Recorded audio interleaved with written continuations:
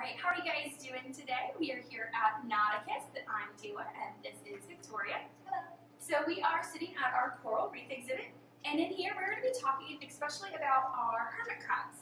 So Victoria, do you want to share some information about hermit crabs we have here? Yes, of course. We have a couple different types inside of uh, this tank because it is so large. Uh, hermit crabs are a really important part of a coral ecosystem. Uh, if you glance inside of our tank, uh, it may be a little to spot them because some of them are very small.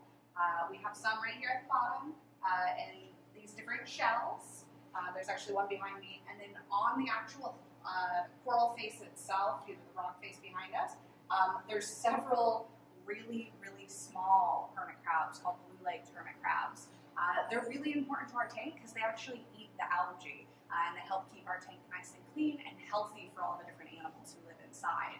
Um, these different hermit crabs, um, they don't have a, a home of their, their own. They don't have a shell of their own. They don't make it, which is one of the things we're going to talk about with our book in a little bit.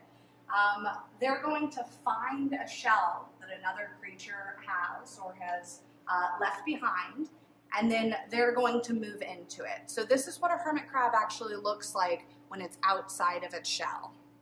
Uh, it's going to have a very soft body, um, and only its you know front half with its face and claws are actually going to stick out for the most part, and it'll drag that shell around with its uh, lower body inside. Uh, when our hermit crabs get bigger, just like we all grow, they grow too. Sometimes they're going to outgrow whatever shell they're in, and they'll need to find a new one. So we always have new shells inside of our tank for our hermit crabs to move into if they need. Um, a really kind of cool and interesting thing about uh, some of the coral relationships that we have inside of this tank.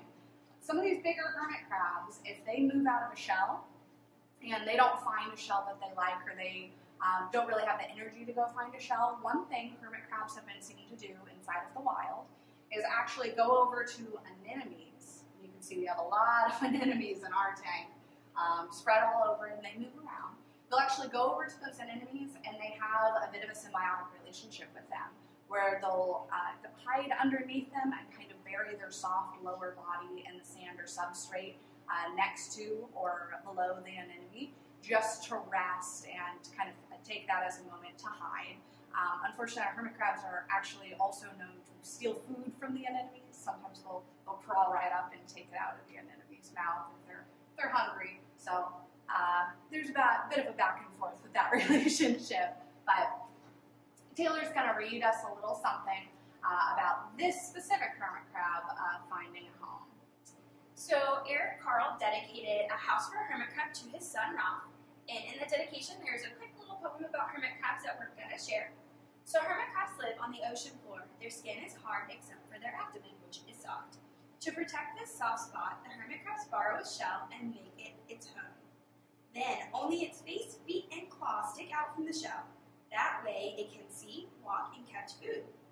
When a hermit crab is threatened, it withdraws into its shell until all the danger has passed.